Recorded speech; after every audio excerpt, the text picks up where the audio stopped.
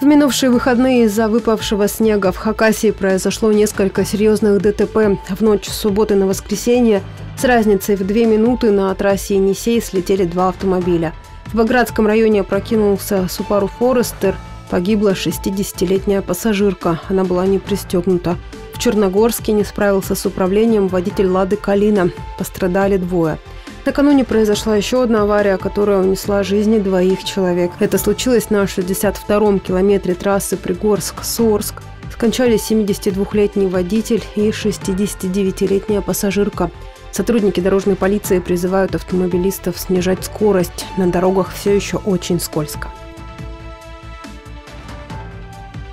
Кровавые разборки из-за телевизора. В Абакане двое собутыльников вместе распивали спиртное, а когда деньги закончились, решили заложить телевизор в ломбард. Изрядно набравшись, приятели стали выяснять, кто же в итоге кому должен денег и чья задача выкупать технику. В ход пошли кулаки. Владелец телевизора напал на товарища и стал избивать, да силу не рассчитал. На утро мужчины обнаружили, что потерпевший скончался. Медикам скорой помощи и сотрудникам полиции в компании сказали, что не знают причину смерти друга, умолчав о драке.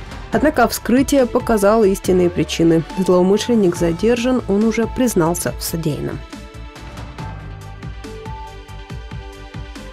А в Ширинском районе возбудили уголовное дело после драки на улице. Напомним, в минувшие выходные в соцсетях очевидцы распространили видео, где двое парней жестоко избивают третьего.